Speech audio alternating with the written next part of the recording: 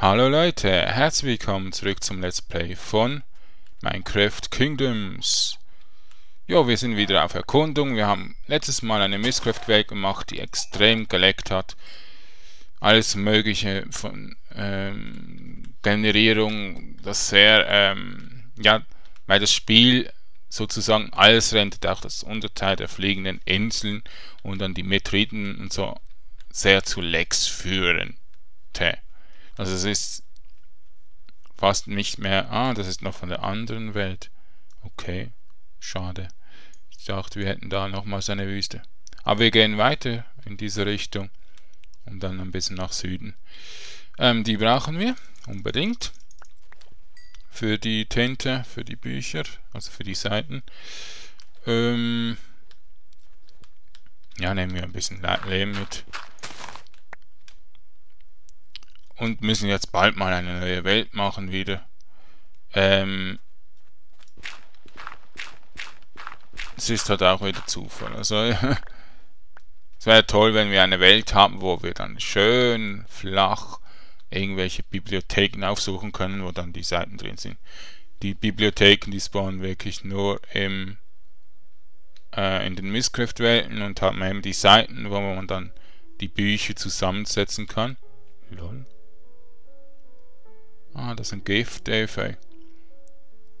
Ich möchte gerne... Ah, wir haben die Schere gar nicht dabei. Schade. Ein paar Gift-Efeu mitnehmen.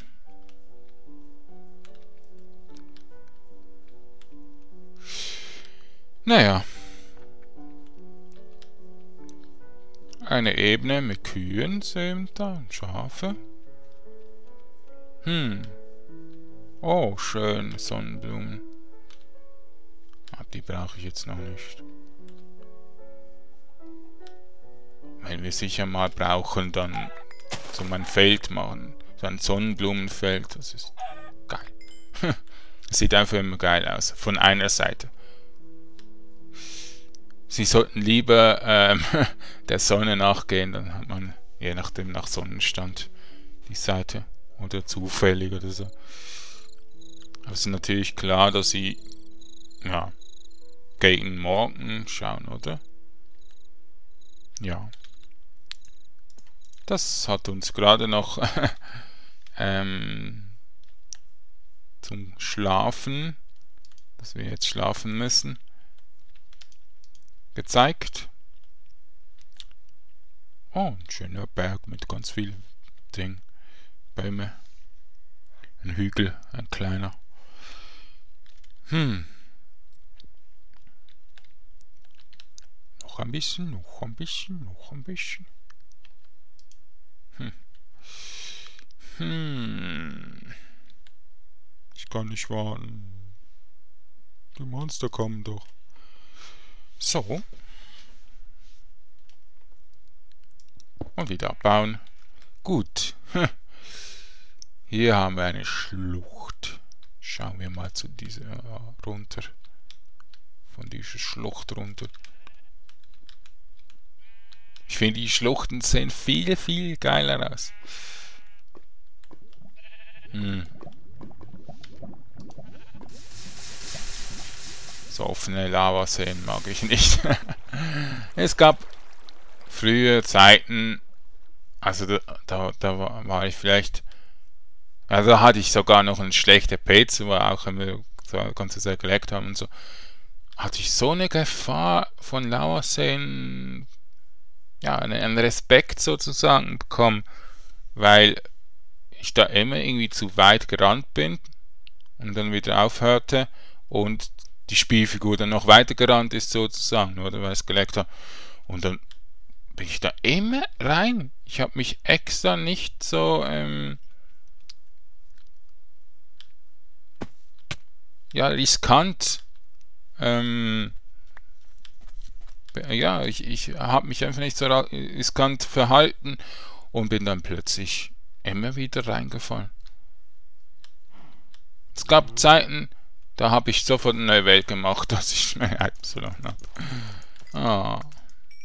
Ja, das waren noch Zeiten, aber das, das war wirklich in der Indef, wo alles noch ein bisschen schlecht war sozusagen. nicht also die Steuerung noch nicht so gut war. Es gab mal eine Zeit, da war alles aus Hügeln. Also da waren die Extreme Hills eigentlich sehr oft dabei und waren auch mit anderen Biomen verschmolzen. Und da muss man die ganze Zeit hüpfen und dann hat man die Löcher gar nie gesehen, weil immer wieder verdeckt waren durch Blöcke und dann plötzlich sind sie vor einem gewesen, da ist mal runtergestürzt. Und ich weiß noch, einer der ersten Welten, war an einem Meer und da ging es direkt nach oben. Und ähm, eine kleine Insel war davor, die ganz aus Sand bestand, also so ein sandiger Hügel war. Und äh, die hat ein gigantisch tiefes Loch. Ich weiß nicht wie tief, letztes, ähm, ganz am Anfang es runterging, bis das Bedrock ging, glaube ich nur 60 oder so. Aber das war schon richtig ähm, cool und zwar die einzige Höhle, die ich hatte bin ich da immer wieder rein und dann auch reingefallen und oh, Dolls, ey. Mann, ich will die äh, Wölfe mitnehmen. Ich mach mal einen Wolf Waypoint. Ich weiß nicht, ob die noch bleiben. Ähm, eins und zwar orange. So. Weil braun ist dann noch sowieso unterirdisch. Chestnut, die brauchen wir nicht. Oder wollen wir nicht. Ich weiß nicht, ob wir die haben. Nein, die haben wir glaube ich nicht. Das sind Avocados und äh, Nutmegs. Hm, da generiert wieder was. Ja, Sumpf. Ja, ich muss auch mal schauen, was genau da man noch verbessern kann, damit man nicht so viel Lex hat, weil Fastcraft ist, glaube ich, drin. Also eigentlich sollte es ja nicht ganz wenig lecken. Naja, sind halt viel zu viele Mods, viel zu viele Sachen zum Generieren. Naja. Und das ist Life of the Woods, also viele Mods drin, die extrem laggen hat. Zwergpalmetto. Der Warme. Oh, schöne Blumen. Lilie. Was wäre das für meine Schwester, die mag Lilien? Ah, die nehme ich mit. Wow, zwei. Und auch zwei blaue Lilien. Schön, schön. Hm. Das ist Basalt. Oh cool, ich will ein bisschen Basalt mitnehmen.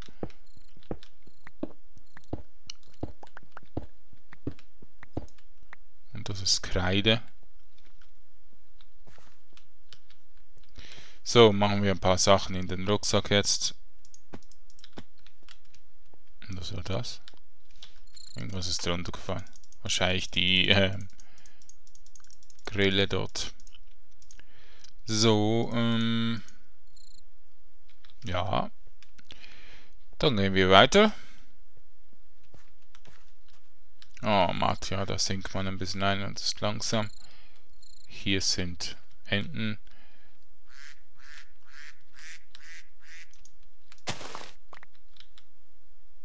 Tee und Kaffeebohnen. Cool. Cool, cool. Streifenfarm. Hm. Da haben wir noch Lilien. Schön. Löwenohren. Ja, die Orchidee nehme ich jetzt nicht mit. Da haben wir noch ein solches. Oh, viel zum Mitnehmen. nice. Ja, das ist auch mal ein anderer Sumpf, also einer, der recht ähm, viel Matt hat und viele Blumen und so. Nett. Das macht ganz anders, also das liebe ich so an dem Modpack, weil äh, sehr viele Mods drin sind, die da viele Sachen reinmachen. Eine Sumpfseitenpflanze. Oh, jetzt ist voll. Da. Ja, nimm da auch mit. Gut, ähm, ja, ins Ding möchte ich kurz. Ins Hexenhäuschen. Da gehen wir am besten hinten rein. Da haben wir auch wieder den Roguelike Dungeon. Ein, ja, japanisch ist das nicht ganz. Wie so ähm, Wikinger-Art. Ähm, so.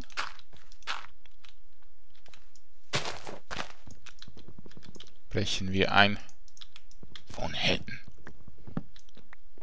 Hallo. Eichenholz-Wandhalter. Aha. Wo ist eigentlich das? Ah, da ist es. Der Topf, meinte ich. So. Dann gehen wir zum Tempel. Kahle Schildblume, die lasse ich mal hier. Ich will ja auch nicht so viele Pflanzen mitnehmen, dass die Gebiete dann nicht mehr so ansprechend sind. Dann müssten wir eigentlich immer alles neu pflanzen und so. So. Ja, dann lasse ich's. Es ist einfach so schön ansprechend. Es wird toll sein, hier dann etwas zu bauen. Ich habe so viele Ideen gesammelt, also das Projekt, das wird immer etwas haben, das richtig viel Spaß macht. Es wird mich total immer motivieren, das ist so geil. Und die Dungeons liebe ich so. Also wir haben so viel Dungeon, die generiert werden. Da, da werden wir nie fertig. Wir könnten 200 Parts mit Dungeons füllen. Weil sie auch sehr, äh, ähm, ja, fordernd sind. Was soll ich jetzt mit dem?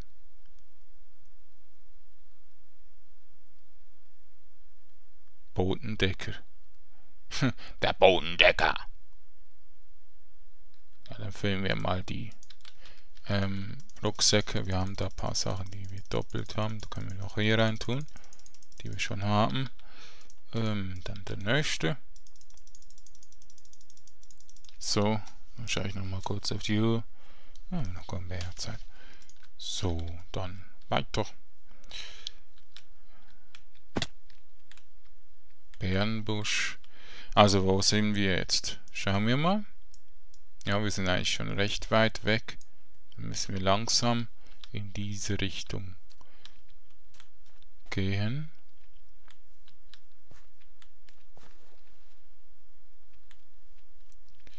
Ja, müssen wir hier herum. Da haben wir noch blaue, äh, violette Blumen. Pinke Blumen, ja. Ja, mitgenommen. so. Das Eva ist gerade gewachsen.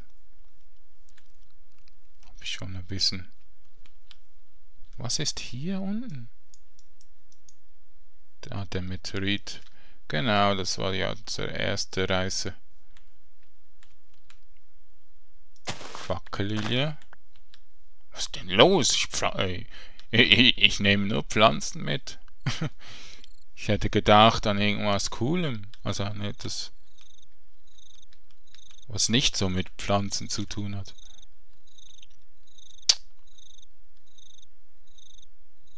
Da unten ist ein weißer Stein, der schön aussieht. Hm. Okay. Also ich denke, wir haben nicht mal die Hälfte aller Steine gefunden vom Underground Biomes Mod. Da unten ist ist das der? Nein, der Roguelike Dungeon ist ja nicht hier. Wisst ihr was? Wir gehen da mal runter. Oh, da wird der Patch richtig geil. Ich möchte aber die Ananas oder äh, Ananas Orange mitnehmen. Oder was das ist. Sieht mir nicht nach einer Orange aus, aber es ist Orange. Orange. Was ist das? Persimone. Eine Persimone. Aber sie ist noch nicht ähm, reif. Ich will aber eine Persimone mitnehmen. Ja, das könnte doch.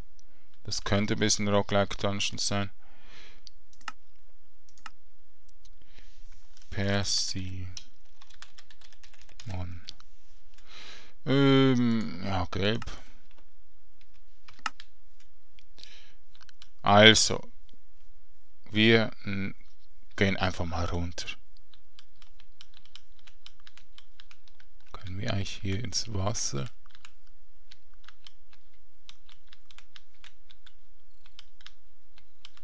Hopp.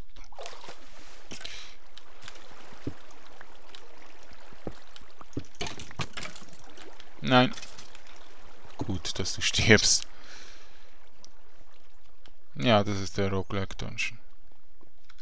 Haben wir einen guter Weg rein.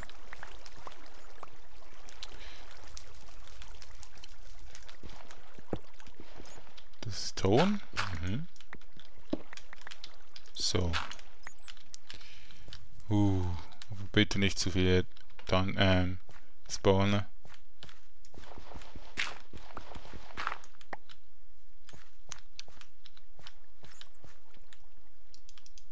Dachte, gar, wusste gar nicht, dass die so weit weg ähm, vom Dungeon-Eingang sein können. Oh, Regenerationstrank, glitzerndes Ding.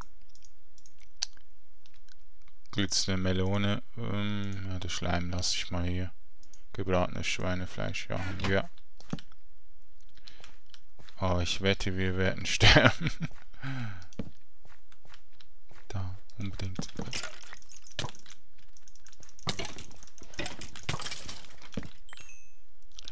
Unbedingt ausleuchten hier.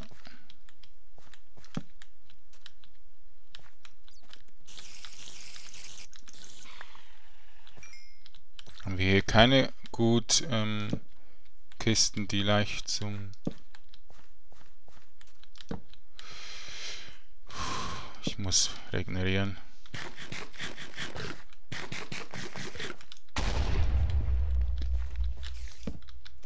Das? Ist ein Creeper gewesen, der einfach explodiert? Oder ist eine Falle ausgelöst? So, was haben wir hier? Eisenschwert, Ofenkartoffeln, Flaschen, Selleriesaat, Laudanum, Gasträne. Oh, cool. Das ist mal geil. Eine Gasträne sogar. Ob wir die brauchen. Ja, für Tränke dann.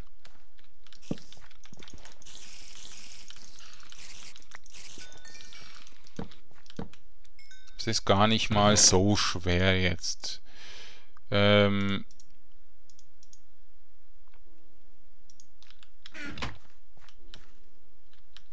es könnte schwer sein. Das ist das unterste oder ist es noch nicht der unterste Stockwerk? Hm. Mal kurz schauen auf die Uhr. Ja, jetzt den bald ist leider der Part vorüber. Da ist nix. Schade. Aber die Ausbeutung, Ausbeute ist recht gut. Ja, dachte schon. Also die Kriebe explodieren deutlich weiter weg noch. Ja, das ist zu gefährlich.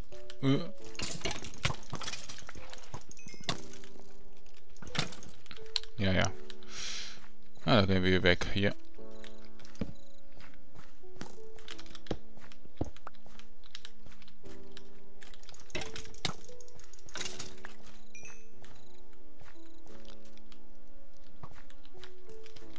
Ich möchte hier noch weiter. Oh. Heftig.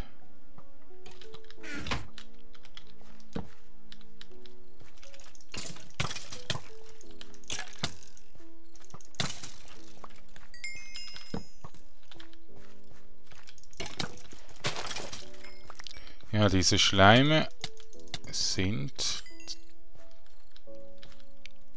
Random Things, okay. Hm. Ja, der Mod kenne ich überhaupt noch nicht. Da müssen wir ihn noch kennenlernen. Ein bisschen von den ähm, moosbewachsenen Ding mitnehmen. Hopp. So.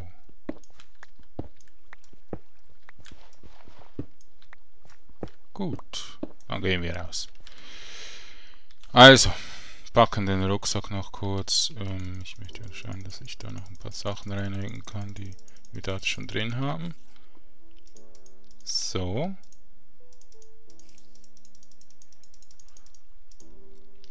Und jetzt möchte ich noch kurz schauen. Kust. Äh. Haben wir denn nicht den Kasten NPC, dann muss ich den noch rein tun.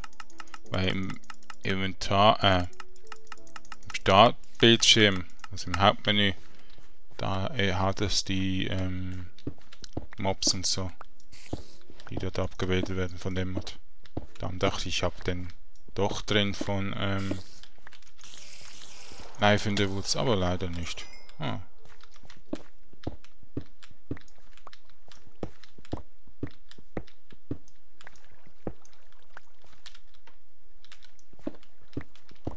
So, aber jetzt gehen wir raus.